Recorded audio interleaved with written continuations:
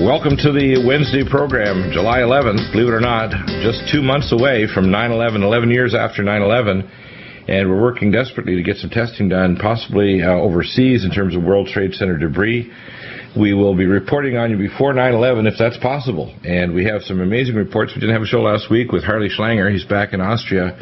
And the meltdown of Europe continues at an ever increasing pace. It's just literally uh, Rajoy, the the, uh, president of Spain, is doing everything he can, being booed and jeered everywhere. The pigs nations are collapsing, and uh, you have some important updates in terms of what's going on with some groups in Britain that basically have called for what you've called for, what I've called for for years now, is the Glass-Steagall to put a firewall between the uh, speculative economy and the real economy, which has not happened. Um, and unfortunately, the uh, side uh, that's supposedly opposing Obama, the Republican Party, chose a candidate who can't win, who can't win because, number one, he's not even a conservative Mormon. Uh, he doesn't uh, have a candidate pick that's pro-life and his record is just horrendous dealing with the area of Obamacare because it, the template for Obamacare was his mandate in the Massachusetts health care, although he now he's, we should call him Flip Hananiah Romney. Uh, we've got a situation where now the lead is widened six points now for Obama's favor, with a president who's the most incompetent, probably the lowest grade president we've ever had in the United States. Romney is so incompetent, it's his election to lose, and he's losing at a remarkable rate. He should get a star for losing. Well, let's, let's get to the U.S. election in a minute, but let me start with the uh, earth-shaking events of the last 10 days or so from Europe. Because what right. happened is you had this uh, conference that took place, the 20th Heads of State conference in the last two and a half years to deal with the collapsing euro. And they came up with a proposal which is essentially what you and I have been talking about for quite a while getting rid of national sovereignty and putting the nations of Europe under a bureaucratic dictatorship that would bail out the banks, bail out the, the corrupt and collapsing banks, but destroy the nations in which these banks operate. And this is the so-called European Monetary uh, or European Stability Mechanism, the ESM. Right. And this is essentially a bailout mechanism which Geithner and Bernanke pledged $2 trillion to back. Now, they've got to bail out $9 trillion of European bank debt. Now, the total sum of European sovereign debt is about 3.2 trillion. So when people say it's a crisis of the Greeks spending too much, the Spanish spending too much, the Italians spending too much, well, maybe they spend more than they're taking in right now, but that's because of another factor. But it's only one third of the total amount that needs to be bailed out in the banks under the European Union policy. Now, LaRouche's policy was go with Glass-Steagall right now and let the banksters eat their bad paper.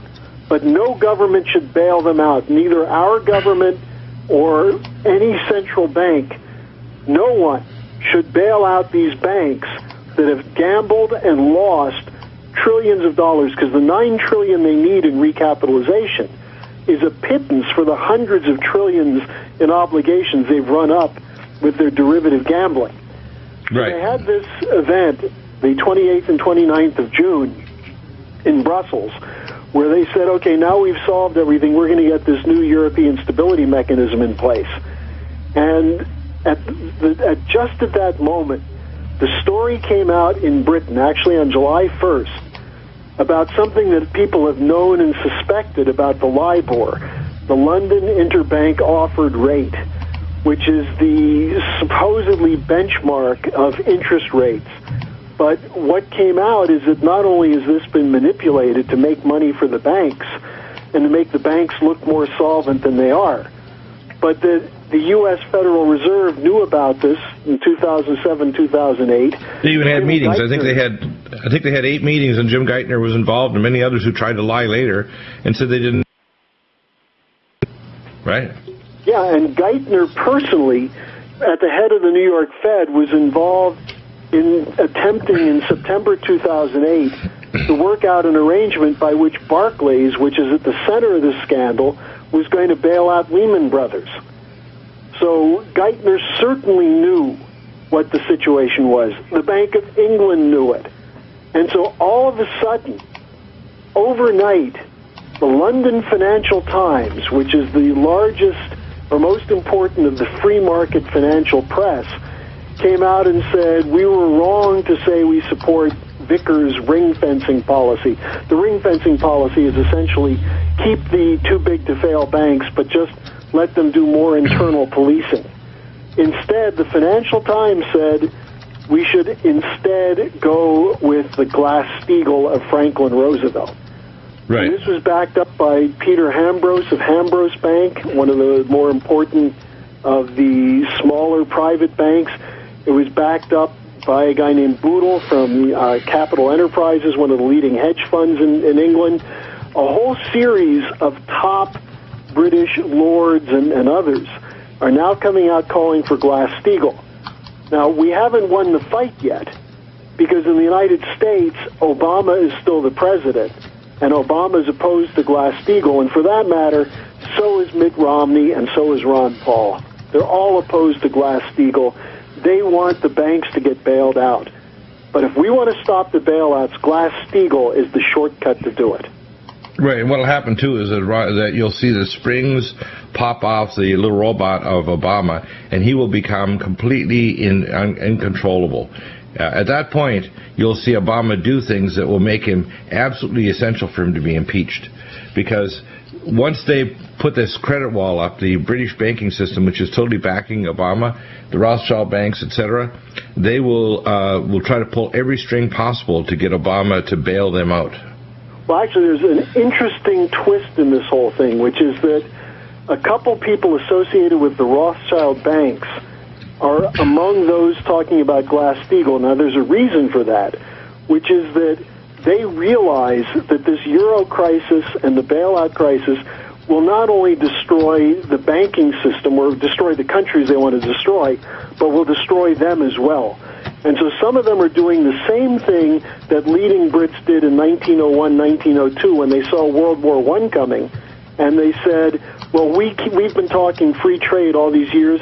We're now going to go to a Hamiltonian policy for a decade or so to rebuild our economy so we can fight World War I. So periodically, the Brits jump away from their imperial policies and go with something on the basis of survival but they don't do it for the good of mankind. We need Glass-Steagall not to defend a few British banks, but for the good of mankind. Yeah, exactly. Now, we can well, what's likely use to, them to get it through? Now, what's happening is they're now trying to push, uh, literally this summer, in the next few weeks, that the only alternative to the economic, I call economic Eden of Europe, which will also tear down the American banks and also cause a massive devaluation of the U.S. dollar and a bank holiday in America as well which of course Obama is just waiting for. He'd love to have an October surprise like that. The only alternative is a federated Europe, where basically there's no states anymore. The yeah. states have no financial power, and of course people don't realize there's only two things that legislations do. They they handle money, they decide on taxes and how it's going to be dispersed, and they make laws and rules so people don't harm each other.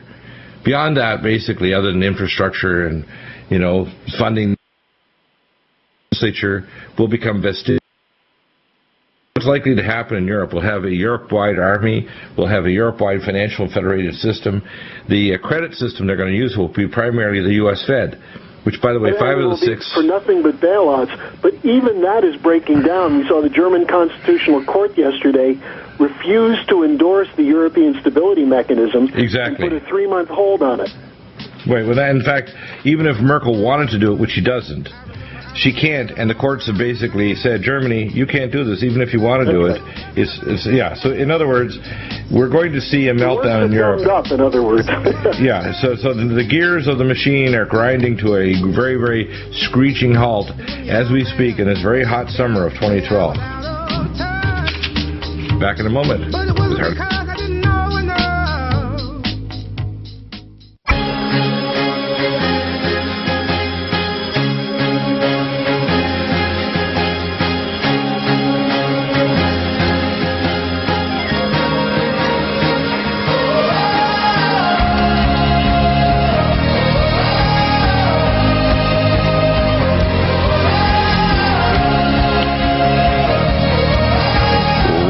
Back. And uh, Harley, let's jump into some of these topics. Um, yeah. Lots and lots of issues to, to talk about. I want to just hit the, the headlines and then I'll let you kind of expand on them because we've got quite a few things to cover today.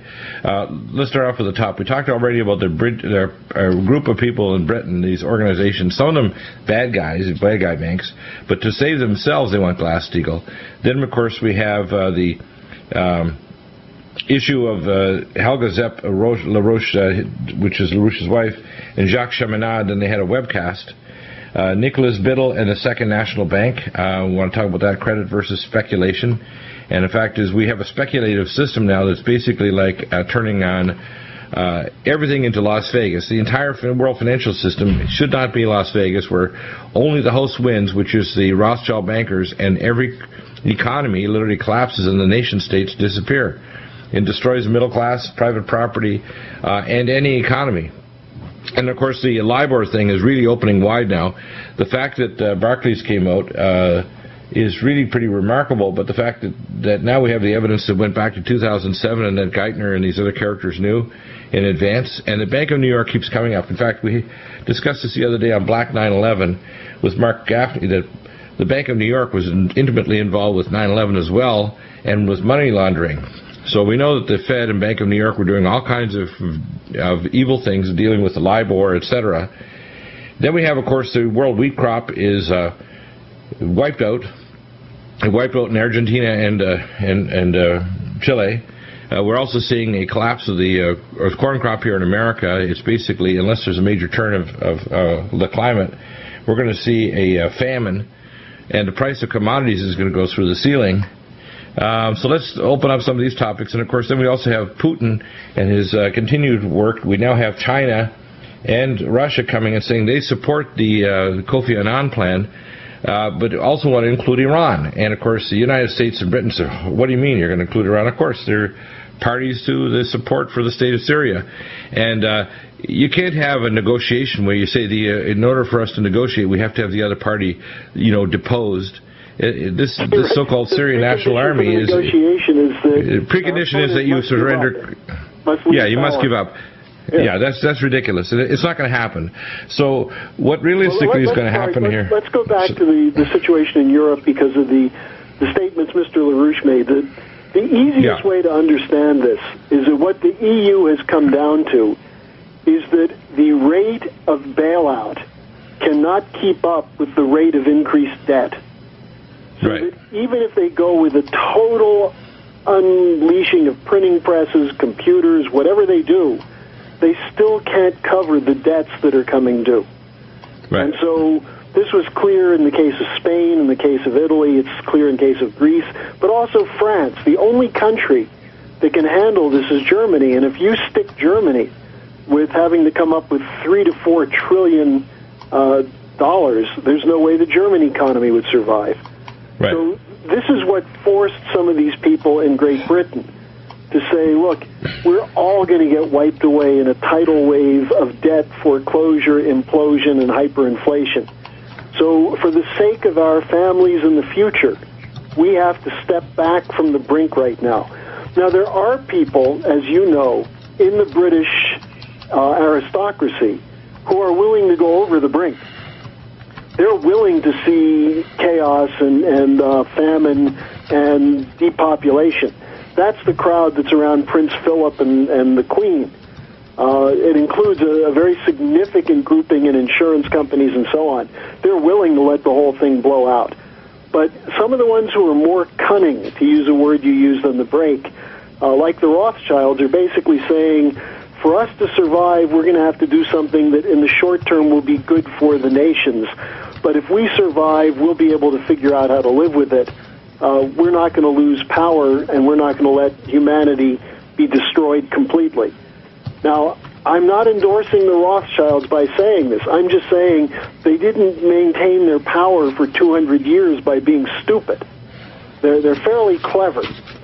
And so right. this is the grouping that said you can't have bigger bailouts uh, than, or the bigger debt growth than the bailouts you're doing. It doesn't work. Right. So what they did is they used the scandal of LIBOR. Now, the scandal of LIBOR exists on two levels. The first level is just the, the one that was initially exposed, which is that the banks were lying in 2008 about how much they had to pay to borrow money. Because if they reported that their, the rates they were paying were going higher, it would make it clear that they were in financial trouble. So they were putting out lying figures to make themselves look better. But that's really just a small part of it because they couldn't get credit anyway because remember the credit crunch in 2007, 2008? So they only survived in that period. Uh, Barclays, Royal Bank of Scotland, and Lloyd's by a secret bailout fund of 60 billion pounds from the Bank of England. But once they found they could get away with manipulating the LIBOR, what they said is, let's turn this over to our trading offices and let them figure out how to use this to manipulate interest rate swaps, the so-called credit default swaps, uh, and then generally use the lying about the rates to do in-house trading to make super profits based on knowing which way these things are going to go because they're the ones setting them. So it's the classic case of insider trading. And now we're not talking about merely looking solvent and something like a 60 billion pound bailout. Now we're talking about hundreds of trillions of dollars in derivatives in which the House, to use your example earlier, the House knows which way the interest rates are going to go, so they won't lose, but they would sell bets on both sides, so they would cheat some of their clients even while they made money from the inside information. Yeah, well, this is happening uh, for years now, and now it's come out. It shows how dirty the system is, and well, there was nobody watching. Geithner and Bernanke were involved in. Geithner right. directly at the New York Fed. It's not just the Bank of New York. It's, it's Citibank. It's it's uh, J.P. Morgan Chase and especially Bank of America that were involved in doing this. Well, all the same banks, by the way, that are asking with their hand out for tons more money. Well, and these were all the banks that were involved initially in the TARP. These are also the banks that were tied to the scandal of the London derivatives office of AIG. They were basically getting money laundered through AIG back to them to pay them for their bad debts in 2007, 2008. Uh, I mean, this thing is, is now we're talking about trillions of dollars. And I know the American people to some extent are jaded with the stories of uh, corruption and fraud. But don't be jaded. Get your back up and do something about it. We're talking about people who have lost homes. They're people who have committed suicide, people who have been cut off from medical care, while these criminals stole and looted and lied. Yeah, I know. Amazing. And while this is going on, they're shoving Obamacare down our throat.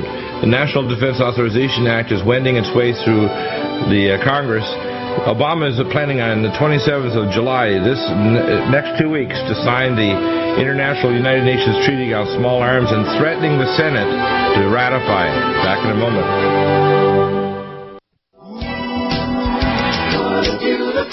They want disaster. Welcome back, and Harley, you've got some important topics to, to expand upon. Let's uh, continue, please. Well, I, I want to report what happened yesterday in the German Constitutional Court because, you know, people get cynical about Supreme Courts and, and courtrooms, and we've seen so much corruption there, including the really insane ruling to uh, allow Obamacare to go ahead. Yeah, I know. Uh, Judge Roberts, basically, we've analyzed. We try to give him credit. There's no credit. Judge Roberts is just interested in trying to make a, a, name for himself, like a lot of the politicians trying to stuff their pockets in, in what I call the district of criminals. What we have is a situation, at least the German courts uh, stood up for some principle, didn't they? Well, and, and one other point, just to go back to the, this question of the courts, the Republicans who are trying to repeal Obamacare, for some reason, won't bring up the Independent Payment Advisory Board which truly is a death panel model on what Hitler did to kill the so-called useless eaters. It's a uh, eugenics on demand, and basically, yeah. even if you carry really good insurance, if you're a certain age, you're referred to an ethics committee, and we know that uh, up to 40% of doctors, this is a reasonable figure. Some of them uh, re- of the reports are high at 80%, but at least 40% of doctors will quit with implementation of uh, Obamacare. 40%. Well, and, and what you have is, is legitimately something which is a death panel, which is going to say that certain people are in categories which are not going to be treated. Well, let's and, put it this way: if somebody was going to kill my relative, I'm going to show up with a, a, battalion of attorneys and dictaphones at the hospital, and many of those those attorneys will also be MD JDs. And then, if that doesn't work, I'm going to show up with special forces. How's that? well, let, us go back to the constitutional remedy first, because that's what I, I don't want people to be too cynical about this. What happened in Germany is that there were four or five cases brought previously uh, to argue that the Grundgesetz, which is the basic law of Germany, the Constitution of Germany, was being violated by these treaties, which essentially said that bureaucrats in Brussels and not the elected government in Berlin would be determining economic policy. Now, the Germans were seemed to be willing to let that happen to the Greeks, maybe the Spanish, but when it was clear that this was meant for a European-wide, all 27 member nation uh, bureaucracy that would, would dictate policies, and they would be the policies of the bankers. Uh, over 200 German economists signed a letter denouncing this. Uh, there were eight cases brought before the Constitutional Court, and the government, represented by the finance minister Schäuble, came in and said, look, you can't uh, have an injunction against the European Stability Mechanism. That will hurt the euro. And one of the professors argued there are things more important than the euro. And that's important because a professor basically said the future of a nation under law is more important than balancing the books uh, of, of a banker, especially when we know now that the bankers lie with their books. So the German court said this is an important enough issue that we're going to need as much as three months, which means that the European Stability Mechanism, which was supposed to come in at the end of this month, because they need the bailouts by July 31st, may be postponed through September. Now, if that's the case, banks in Europe will start blowing out. So what it means is the fact that the courts and also the regulatory authorities in Britain told the truth about Barclays and LIBOR now means in the United States we have an opportunity to do something because the British, by saying they're considering Glass-Steagall, are really throwing the ball back in our court. Glass-Steagall is an American law. It's not a British law. And so the question is we have 70 sponsors of a Glass-Steagall resolution in the U.S. House of Representatives. We don't have a single sponsor in the Senate. We, we should have 435 sponsors in the House. So your listeners have a job to do if the British were to go with Glass-Steagall and the U.S. did at the same time, we would use it to wipe out the speculative debt. Now, it would mean the banks would remain, but they would probably have to be put under new ownership because the existing owners will have been shown to have committed crimes, as in the case of Barclays, Royal Bank of Scotland, Citibank, J.P. Morgan Chase, and others. And so, un- under a uh, Glass-Steagall regulatory reorganization, we would have banks that would actually serve the interests of a community. That means actually make loans to people who are going to set up job-creating businesses, as opposed to having banks that collect large amounts of money from central banks, unlawful private banks like the Federal Reserve, and use that to back up their worthless, toxic assets in the tune of hundreds of trillions of dollars. So either the bankers will continue to run things with a hyperinflation that will starve many, many, many people, or we're going to get Glass-Steagall.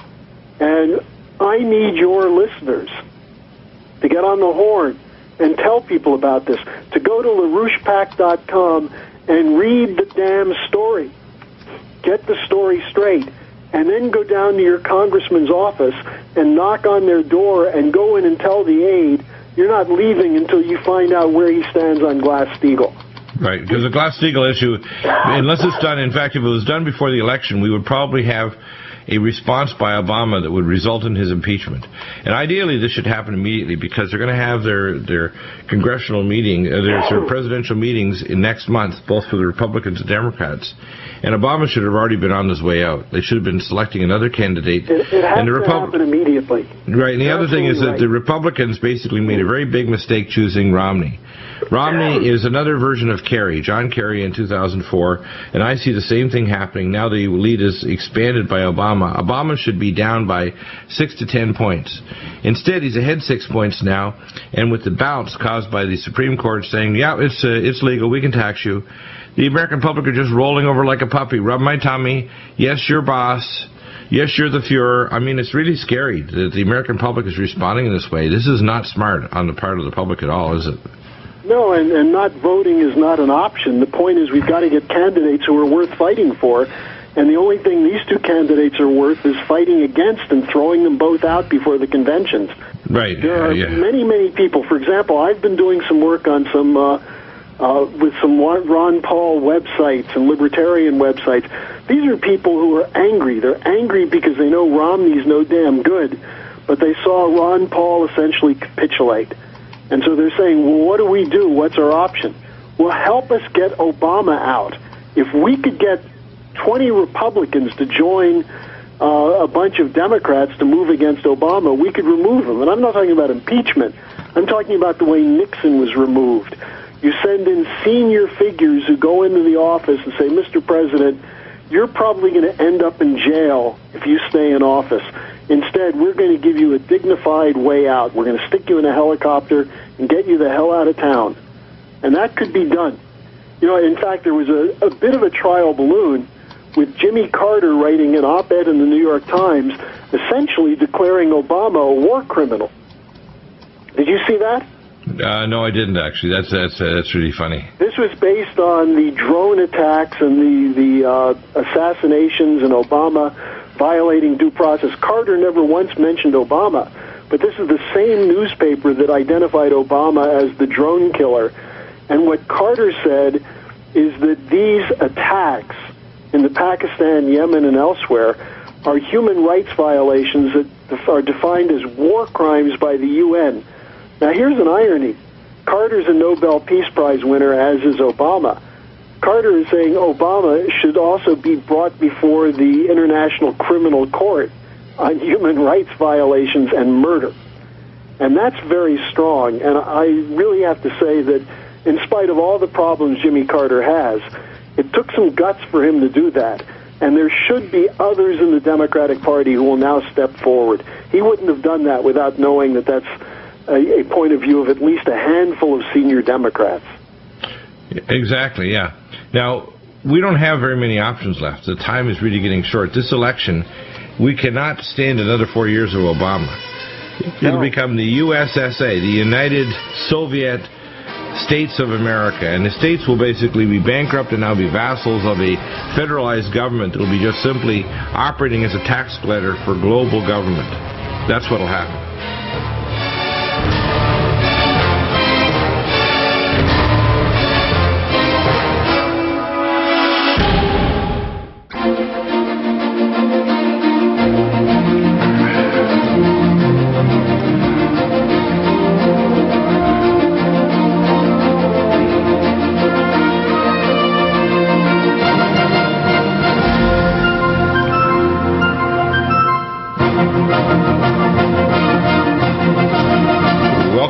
And uh, Harley, you had an important uh, statement here. We, I talked about this analogy that uh, the bankers in Europe, primarily the, the the the Germans, basically were in a sense loaning money to these other pigs nations, which you know Portugal, Italy, Greece, uh, and Spain, and saying it's like the ice cream shop on the beach. Uh, you can't buy more than 3% ice cream at the front door, but at the back door you can come around, we'll loan you the money to buy more ice cream.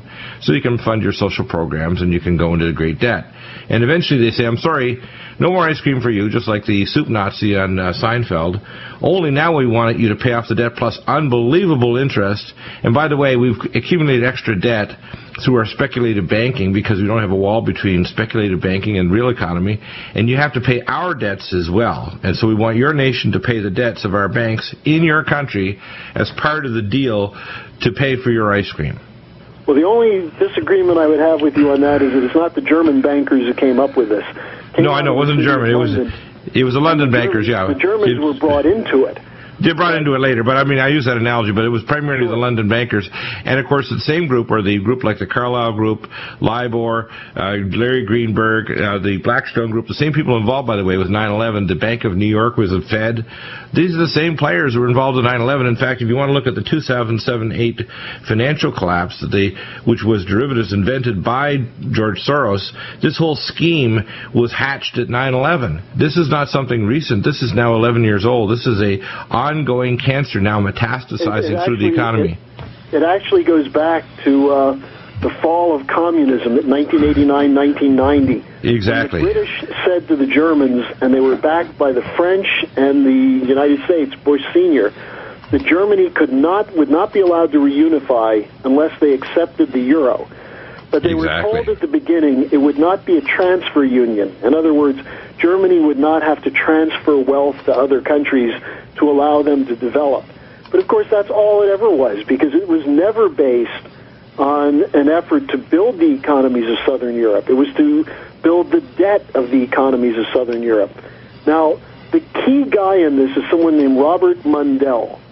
And Mundell is an oligarch. He, he bought a castle in uh, northern Italy, and he just had a conference there, which is probably more significant than the Bilderberg conference because it's smaller in terms of numbers, but they're all top level international bankers.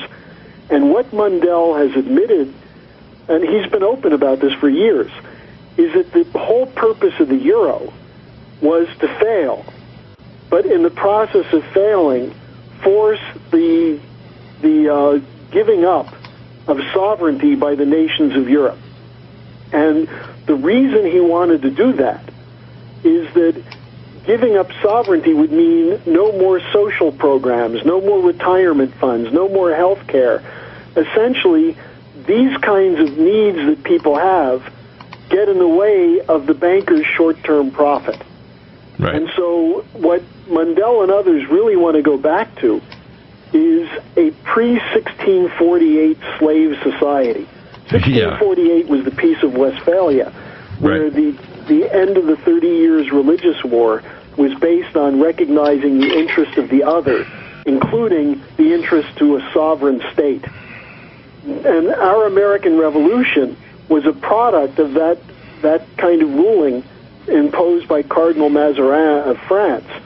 Uh, so the idea of the sovereign nation state has been essential for the development of our nation, and other nations copied it in the late 19th century to become modern sovereign nations. Mundell and others said, we don't need sovereignty. Sovereign nations get in the way of international bankers' ability to make a profit. Uh, minimum wage is unacceptable. Uh, loaning to small business is unacceptable. We should have cartels running everything. That's what Mundell believes in. Now, one of the people who was at his castle for this conference, in fact, there's a video of him playing ping pong, Mundell and Paul Volcker. And Volcker was the guy who was deployed to make sure Dodd Frank was passed so it would not include Glass Steagall. Volcker is the guy who's currently telling Democratic congressmen, don't go along with LaRouche because LaRouche wants to punish bankers, and Dodd Frank will not punish bankers. Now, this is a war, as I said before the last break, between bankers who want to destroy your life by destroying the only protection we have, which is a constitutional republic. But they also are doing this against other republics like Egypt, Syria, etc. In yeah. fact, they have a constitutional crisis now in Egypt where the president is trying to violate even the courts that have said that there were such irregularities in the election that the election is called off and, and nullified and they have to call new elections. And yet he's calling forward against the military who back the courts to say this is illegal. And on, and on top of that, we have U.S. Vice U.S. President uh, Obama and I call the usurper in chief and Hillary Rotten Clinton calling for the fall for basically regime change, which is against the treaty, the literally the, the uh, charter Against for UN NATO. Charter, it's against the Nuremberg Tribunal, and it's Yeah. against our own Constitution. George Right. Washington, who, if there's anybody who knew what our Constitution said, basically warned us against choosing leaders in foreign countries when he Yeah. talked about not getting involved in uh, foreign policies and foreign countries, policy of foreign countries. Yeah. And what we see under Obama, which is a continuation of the neocons who ran George W. Bush, uh, and what would be a continuation either under a second term of Obama or a Romney administration, would be the end of the sovereignty of any nation on the planet. Well, we So have a situation now. We we have a situation now with with the U.S. and this came out 40 minutes ago from Reuters that the White House says Iran's role with Syria is quote not productive. I mean, what kind of a statement is that? Not productive? Was it productive for a nation, America, many thousands of miles away, to just call for regime change and say that their main ally, Iran, has no point, no place in actually discussions of peace when it really is a Well, Sunni Shiite war? what That's what it is. A Sunni Shiite war is what's going on. What we're dealing with, as LaRouche pointed out in April 2009, is a Nero Hitler narcissistic personality in Barack Obama. And we cannot allow an election to take place in November between Obama and Romney. Obama Right. has to be removed by constitutional basis before then, based on the crimes he's committed as President of the United States. And that's the only way we're going to uh, solve Well, this let's thing. put it, put it this way: uh, two years from now, if Obama gets in, if I say the things I say right now on the radio, I'll be jailed and or executed under Obama. Well, and, and here's the point. This new development around Glass-Steagall, as Lynn has said, LaRouche has said for quite a while, Glass-Steagall is the tipping point. You take the power away from the so-called too-big-to-fail banks, the universal banks. You put the power back in the hands of the Congress. Yes, the Congress right now is a bunch of gutless bums. But if they see us as a population moving to throw out Obama, and going back to the principles of a regulated banking system so that they're no longer going to be queuing up to Wall Street to get money to run for reelection. They'll have to pay attention to the people. It's the only hope we've got to restore our nation to its tradition as a constitutional republic. Yeah. Yeah, so uh, so we and we have the situation where we have this happening parallel to the Western, to NATO and the United Nations pushing for a Middle Eastern war that'll clamp off the oil supplies from Iran and the Strait of Hormuz. We have the all, the United Nations and and the Western powers doing nothing to stop the ecological disaster of Fukushima. Which, by the way, the amount of radiation release we will have subacute radiation sickness in North America and in Europe if this blows as I expect very shortly. They got lost the uninterruptible power supply. They nearly hit critical temperature last Tuesday, where the reactor cooling uh, pool for fuel rod assemblies, 1,535 of them were ready to blow. I'm doing the keynote lecture October 3rd to 7th at the American Academy of Environmental Medicine on Fukushima, and uh, talks also on and a presentation on Macondo at the British Petroleum on the effect on the CNS and the mitochondria of people worldwide uh, for the Academy. And I can tell you right now what's going on. This ecological disaster will cause Japan to have a massive evacuation, a collapse of their economy, and they're the only credit economy buying this bad debt. Which means Well, Europe's going should go to LaRouchePAC.com to get the, the solution, the story of Glass-Steagall. Exactly. And those are solutions that need to be implemented immediately. We need to have impeachment of Obama, Glass-Steagall. We need to replace Romney as the so-called Republican candidate. He can't win against Obama. He is so incompetent in his team, and they won't even announce who the vice president, although his wife has suggested maybe a woman. Well, maybe, God knows. Sarah Palin showing back up, resurrected from the dead by uh, uh, none other than uh, Kissinger, who selected. He said he's, he's her girl. Who knows? Talk to you next week. Absolutely amazing.